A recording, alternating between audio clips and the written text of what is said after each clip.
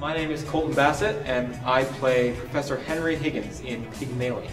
Higgins is this sort of arrogant, aristocratic professor of phonetics.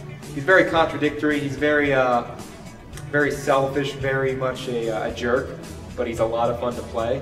The show is about this low-class girl, Eliza, who is who's taken in by these two gentlemen who want to raise her up and pass her off as a lady in about six months. It's all a part of a bet.